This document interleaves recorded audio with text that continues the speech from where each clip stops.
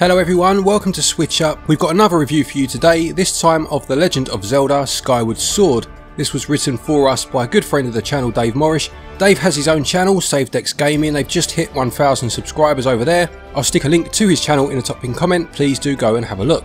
The Legend of Zelda Skyward Sword was originally released on the Wii in 2011.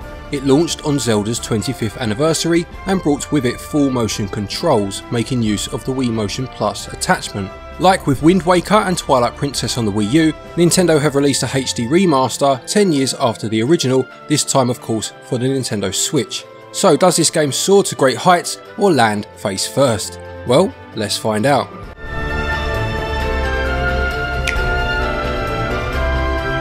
As you would expect, you play as Link, who is training at the Knight Academy on the floating island of Skyloft, and he has a close friendship with Zelda. When disaster strikes and Zelda goes missing, it's up to Link to search for her. During his journey, you discover the surface, a whole world below the clouds. Now, I won't say any more than this, but the story certainly kept me engaged and was helped mainly by a very likeable cast of characters. Structurally, this game follows the traditional pre-Breath of the Wild Zelda formula. This tasks you with finding your way to a dungeon, usually in a set order, solving the puzzles to navigate it, finding a new item, and that item is used to progress through the dungeon and expose the boss's weak spot. The path to the next dungeon will then become available, either through story beats or the item being used to open new paths, rinse and repeat. There is an element of exploration to these games, but nowhere near as much as in Breath of the Wild for example, and it could be argued that Skyward Sword is the most linear game in the series. This isn't necessarily a bad thing and does bring its advantages, the biggest of which is that it allows for a heavy focus on the story, and it has, in my opinion, the best story in the series. As I mentioned briefly in the intro, the original forced you to use motion controls, which led to it developing a bit of a divisive reputation. I personally liked the motion controls and thought they worked really well, but I did wish they were optional, and luckily this remake has brought that to fruition. You can play it with button controls, including the Pro Controller or in handheld mode. When using motion controls you use the Joy-Cons separately, swinging the right Joy-Con swings Link's sword and he will copy the angle you swing at. The game was built around this mechanic and there are plenty of times, including puzzles and battles, where it really does matter the direction you swing. Whilst I find with this remake as well as the original that it does work fine, there are times that when you are under pressure to swing correctly and promptly, it was easy to misjudge your swing. With button controls however, the sword is assigned to the right stick and I found myself making fewer mistakes this way. When using those motion controls though, you do use the motion for most things, even when it doesn't really feel necessary. Buttons are used for interactions or bringing up menus, and the left stick is used for movement, but throwing bombs, steering the Loftwing as you fly, piloting the beetle item, even navigating some menus needs to be done with motion. I always found it a shame that I couldn't just use the stick to steer things I must say. When using button controls, everything is done in a much more traditional and dare I say comfortable way. Also new to this game is the ability to freely move the camera with the right stick and since the right stick is used for the sword movement when using button configurations, you need to hold down the L button first to temporarily assign the right stick to camera. This took me a while to get used to and I would have preferred to hold a button down to bring up my sword, but eventually it did become second nature. When using motion controls, the right stick always moves the camera. You can also use the gyro for fine tuning your aiming when using button controls. With both control schemes though, ZL is used to target and the B button is for sprinting. If you hold your sword aloft, then it charges for you to unleash a skyward strike, and if you jab the Joy-Con forward, you do a jab with the sword. I must say that I did find these two moves in particular quite inconsistent. The overall design of the world is segmented. You have four main areas in the game and they aren't interconnected. The main hub area is the sky where your hometown is floating on an island and jumping off the side will let you call your Loftwing to fly around. When you unlock an area you can jump through the gap in the clouds to access it and it seems like a free roaming area and it is to an extent but you are always nudged in a certain direction. There will be characters to interact with, puzzles to solve and enemies to fight, all as you make your way to that next dungeon.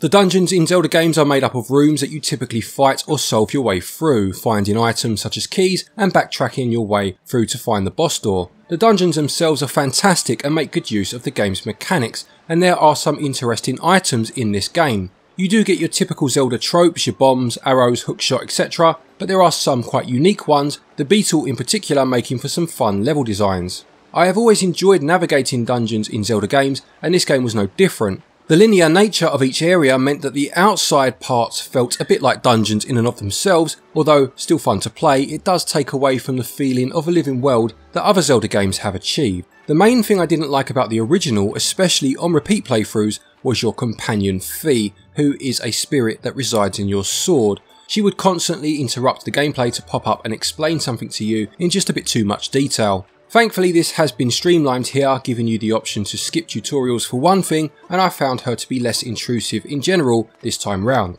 Gameplay may not be the best a Zelda game has ever produced, but it's still a lot of fun. It may lack the exploration of other Zeldas and feel a bit disjointed, but with some of the best dungeons in the series, fun items to use, and a fantastic story, it really does push the gameplay forward, and it scores 16 out of 20. The motion controls, although they work well, can be annoying when they're forced on you, but the added button controls do alleviate this issue, and they work well too, outside of the teething problems with the camera. Control scores 17 out of 20. The Zelda series has seen plenty of different art styles over the years, making each era of the franchise stand out. This game is no exception. It adopts a cel shaded look, which I liked on the Wii and it really does shine in HD. It looks like a living painting, with a lighter colour scheme than the Zelda console game that preceded it, Twilight Princess, and it really is a thing of beauty. One thing I noticed in the Wii version was that anything far away would look quite blurry, but the HD makeover this game has received has definitely eliminated that and the world surrounding you looks nice and crisp. The frame rate has also been upgraded, going from 30 frames up to 60 frames per second on the Switch, and I had no issues at all with performance. The characters are all very well designed, and despite the lack of voice acting, you get a feel for their characters through their expressions and actions. They are very memorable, even the side characters you might only meet once, and it helps to make the world feel alive. There is an orchestrated soundtrack too, and it really is a joy to listen to. The main theme feels grand and epic, the music when you are flying through the skies has a more jovial tone to it, whilst also conveying a feeling of adventure, and the darker moments of the story are greeted by appropriately sinister tones. At a glance the game may not look like much of an upgrade, it certainly doesn't show as big a difference as Wind Waker's remake did for example, but that doesn't stop it from looking absolutely fantastic and visuals get 18 out of 20. Audio is delightful as always seems to be the case with this particular series and it also scores 18 out of 20. The Legend of Zelda Skyward Sword costs £49.99 and regional equivalents are on your screen now. For this you are getting a sizable adventure that can take over 30 hours to beat on a first playthrough. The issue comes with the fact though that it is a remaster of a 10 year old game, and although it does look the part on the Switch, has there really been enough implemented for people to double dip? This all comes down to the individual I guess, for newcomers to the series who haven't owned this game before, or don't own a Wii, then I would say yes it's worth the price. But if you have your copy still, or you have a Wii U where you can download it for about £18 on the virtual console, then the improvements don't really justify the price of this Switch version. To be fair, the fact that button controls have been added will make this more accessible for people that disliked the motion controls of the original, and there have been other quality of life improvements too, as I mentioned earlier.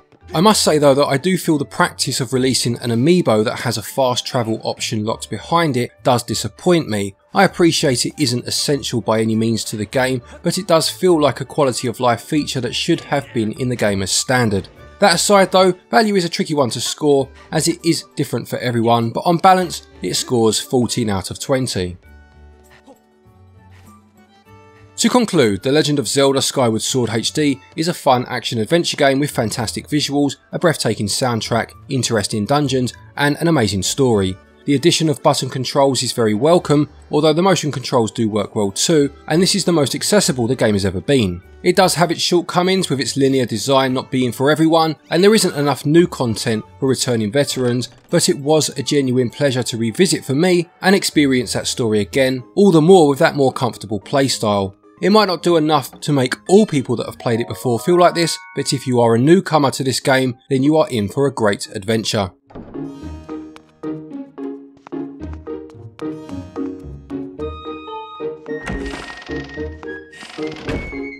The Legend of Zelda Skyward Sword HD gets a switch up score of 83%. So there you have it, a big thank you again to Dave Morris for writing this one for us. Please do check out his channel, link is in the top pinned comment. Thank you to all of you that have been asking about my whereabouts in the last few weeks. I have just had some bits that I needed to sort out, but I do appreciate the concern in the comment section very much. I am back now and it's very nice to be back. A quick thank you to our Patreons as always for your continued support and to each and every one of you for watching our videos. Take care, stay safe of course, and until next time, happy gaming.